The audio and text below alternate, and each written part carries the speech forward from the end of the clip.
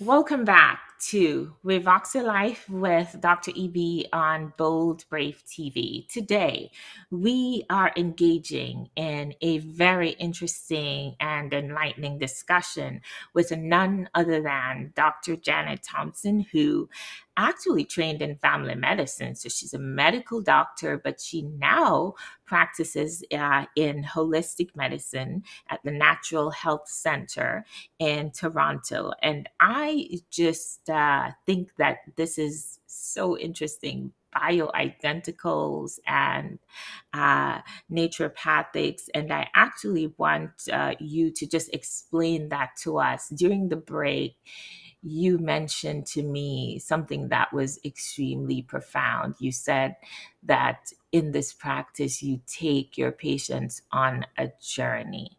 So, describe to me how this practice works and exactly what you do.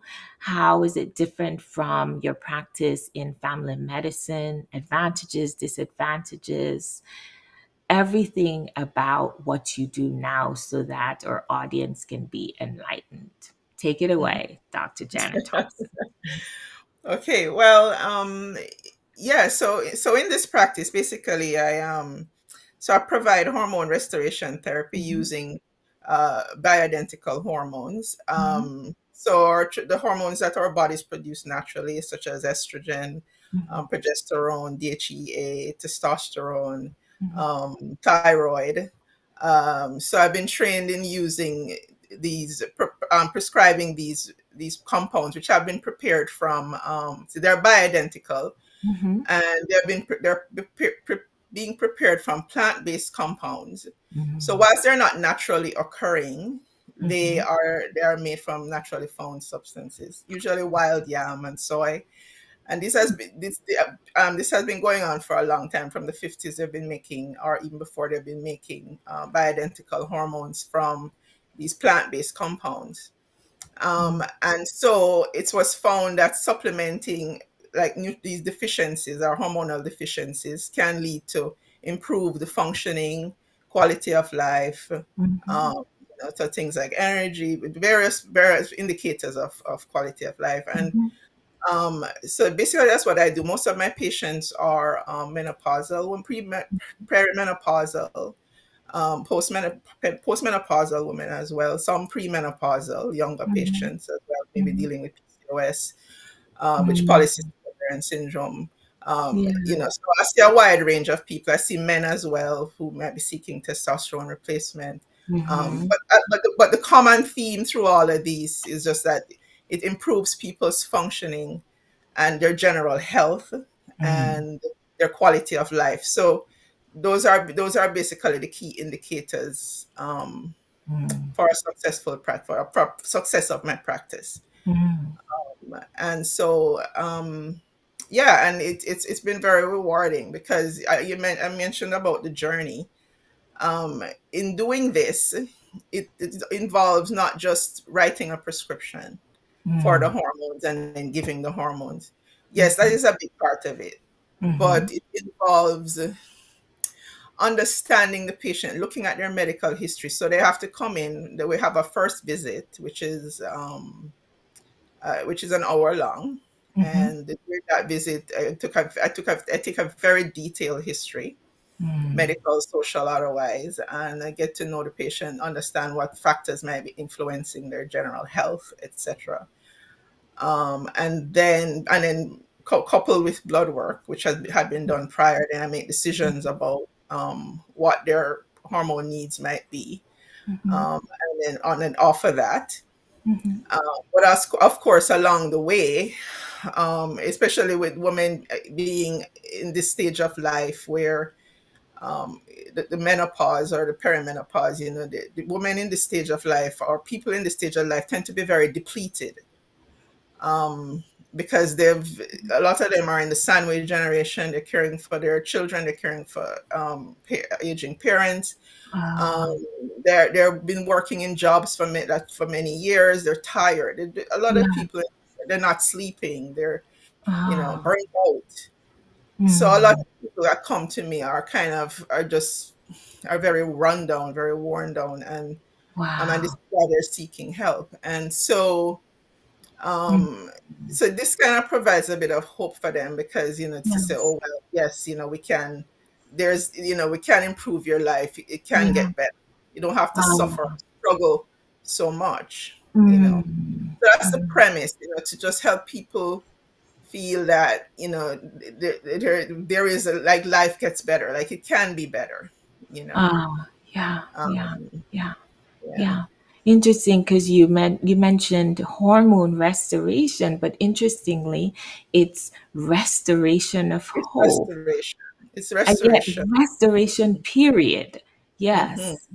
Wow. It's, yes, exactly. So like a holistic uh, restoration. so you are restoring yeah. the hormones technically, but it's also a restoration of hope you know of who they are like of you yes. know you know they can get back to themselves i mean yes obviously they won't be the same because life is about change and you're gonna have mm-hmm. you're, gonna, you're not gonna be the same as you were when you were 25 and i always mm-hmm. tell people that, that that to not to expect to go back to being 25 uh-huh. but it's about being able to live your best life yes where you are where you yes. are.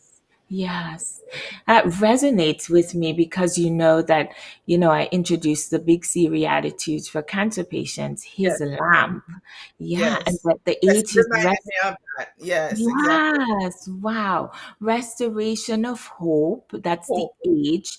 I is the reclamation of identity, right? Exactly. Absolutely and then the reaffirmation of self-worth that's the s right? And then we go all the way down to even the p which is reignition of purpose because once you have hope and once you see a future then mm-hmm. you reignite your purpose. There's a reason why i'm still here and i want to live. So that's yes. so important. Oh wow that's so you know, Sophia, you know, you and I are in different ends of the spectrum in terms of practice because you see people when they're facing death when they're very ill.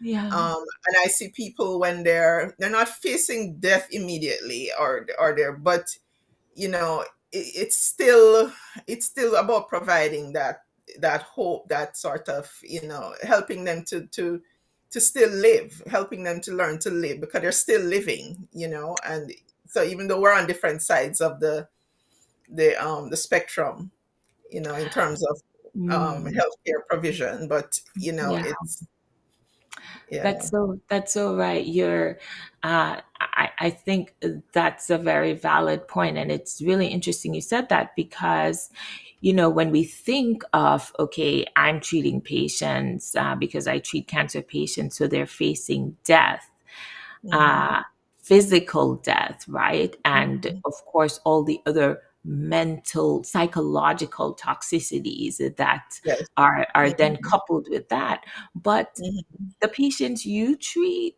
uh, jannette mm-hmm. they're also interestingly you can be mm-hmm. alive but mm-hmm. they're but inside there is no yes it's true i mean for want of a better cliche walking dead you can literally not be present in your yes. own life. So you Absolutely. are indeed saving lives too. I mean, it's, I mean, we use different techniques, but mm-hmm. we, but what we bring to the table is mm-hmm. actually the same in terms of the restoration of someone's yeah. life and their purpose, etc. And I just think that, I think that we've somehow in medicine veered away from that so much because as you stated with you know the the busy practice etc and you literally have to want to be that doctor and say i will be no one else but what i was called to be. As you said it's a calling. And yes. once you and and it's not easy. It's it's mm-hmm. not easy to do that because what you're doing is you're giving of yourself. You've made that decision that i will not have this patient leave my mm-hmm. clinic room without feeling as if i've given them more than just a pill right? Absolutely. And and in fact that has been my modus operandi. Even when i was a family doctor it caused a lot of frustration because my modus operandi was that I needed to um, feel that at the end of every encounter that I would have made a difference in their Yeah. in the patient's life, no matter how small. Yeah. Because otherwise, I would have wasted my time and I would have wasted their time. Yeah. So operating from that premise, um, it's like you have to you you you you see where you you have to um you know you have to achieve achieve something at each visit you have to make a difference you have to yeah. you know to be that per that one to to to to take them where they need to to go Yes, you know yes, yes, yes. And it's interesting you mentioned that take them where they need to go, and you have to be the one um, to allow them to first, sometimes even identify, right? yes Because because they think that they're presenting to you for hmm you know hormone replacement. They they think they're presenting to you for that and that's what they are presenting to you for but there are hmm so many underlying yes. issues that you unearth because you're interested right in treating the hmm whole patient right? Uh, and yes. and once you do that right? Remember hmm there because when a patient presents to you they're basically saying even without verbalizing i hmm am trusting you with my life. I'm trusting you with my life. But they're trusting you with that particular part of their life, not knowing that in the end, there is so much more that you're imparting that make that creates this whole person in a way as you clearly stated earlier that you're really restoring the yes. patient's life the quality of life etc it's a, a complete restoration. And i and, and I, I completely admire you for that. And and i think your Mhm. patients absolutely appreciate that. And i know when when you have a patient who walks in and they completely change when they walk out the door you know their family members see that right? So you're changing the Mhm. family too. You're changing the actual dynamics of the family. You're it's and how they relate to their family. And yes it's a ripple effect. It's definitely a ripple effect. Yes, yeah it's so amazing. It's yeah so amazing.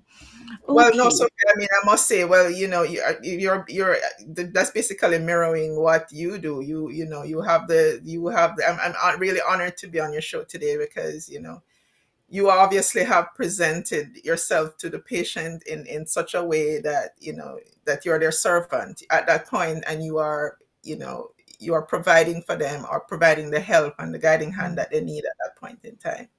You Yeah, know, the difficult stage in their you.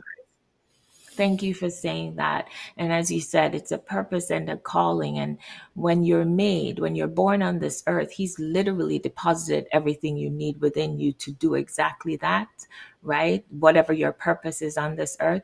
And you are doing the same exact thing. And I am so happy that you're working, walking in your purpose because, like you said, it's a ripple effect. You help all those patients. They have their they have a different perspective about life their family members the trajectory of a whole family and their children can change just by you Mhm. changing that one patient's life you know so it, it is absolutely of paramount importance that we do not lose sight of exactly why we're practicing medicine as you said presenting yourself to the patient where you said servant the same as a vessel. You're a vessel being used by Him, created the way you were created to do exactly that. And I am inspired. I am inspired. so well, so am I. I mean, I'm inspired. I'm so am I. inspired. You have, you have certainly inspired me, and you've certainly, um, you know, given me cause to think and to reflect, and you know, um, this has been amazing. You know, Ah, well, same here. Again, sentiments are reciprocated. And I am so happy that you agreed and you found the time because I know you're busy with family and your practice. And so, thank you so much for being a guest on our show. And I know for sure that our audience will be rewatching and they'll be edified. But most of all, thank you for being you, the person that you are and the physician that you are. Thank you. Thank thank you you. so much, Sophia. Thank you as well.